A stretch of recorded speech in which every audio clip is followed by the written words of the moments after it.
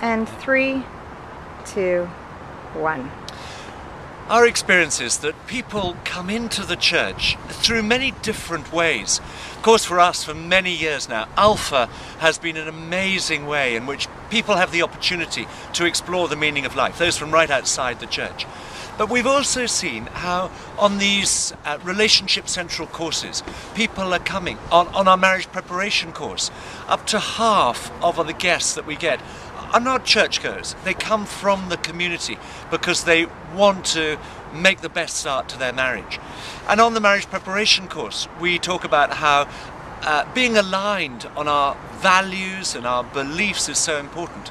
And if couples haven't really thought that through, we say there's another course that we run here. It's a very good way of thinking about our beliefs about the fundamental questions of life. It's called Alpha, and people go from the marriage preparation course to do Alpha. But also we say on the marriage preparation course, in two years time, come back to do the marriage course. And we find the vast majority of our engaged couples come back.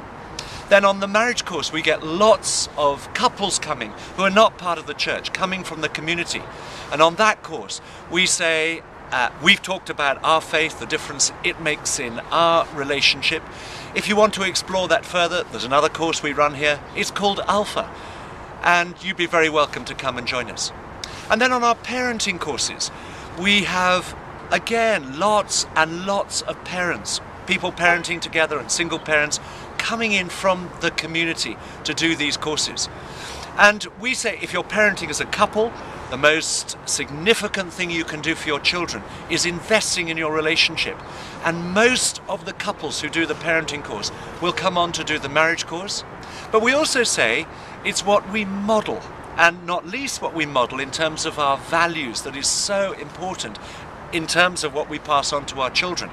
And if you haven't thought through the values you want to pass on, uh, there's another course we run here, which is a very good way of thinking through our values. It's called Alpha. And we found that people are coming to do these courses, not necessarily in particular order, but in lots of different ways. They're coming in through different routes. And in some ways, it's like a, a giant whirlpool, and all the time sort of drawing in people from the edge, and it's drawing them closer in to the center. And of course, right at the center of our community is Jesus. It's bringing people closer to Jesus. Ah, not all of them will go straight on to do an alpha course or to get involved, but it's drawing people in all the time from our community, from the edges, drawing them into this community and meeting many of their felt needs around the areas of uh, family life, helping to build stronger relationships.